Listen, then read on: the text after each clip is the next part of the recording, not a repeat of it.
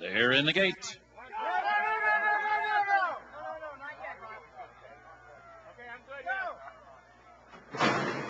And they're off. Gold Dollar breaks sharply on the outside, and Jerry Bailey is sending Medaglia d'Oro today, and he's sending him to the lead and to the rail immediately. Medaglia d'Oro has won the race into the first turn, and he leads the field coming off the inside. Steventown running in second.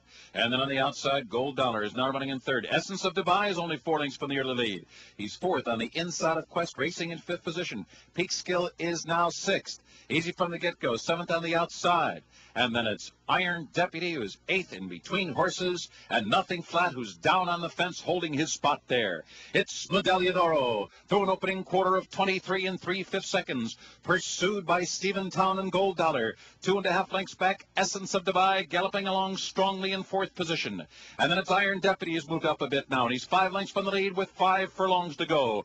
Quest is sixth on the outside. And then it's Nothing Flat, who's now seventh toward the rail, easy from the get-go, and Peekskill. They've run a half in 46 and 3 fifths seconds. The pace of Medaglia d'Oro has been swift, and he still leads Gold Dollar by length. And Medaglia d'Oro beginning to edge away from him now. It's Medaglia d'Oro, the leader, length and a half.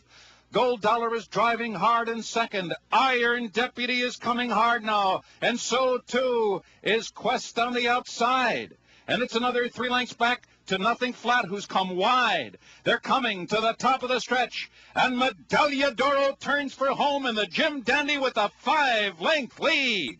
Tight quarters there for Iron Deputy. Had to check, and he went down, and he has thrown jockey Richard Migliore. Iron Deputy was squeezed back there, and he was thrown his jockey in mid-stretch. In the meantime, Medaglia d'Oro will go on to an impressive victory here. He wins all by himself, as the rider pleases. Finishing second was Quest, who was involved in an incident in mid-stretch.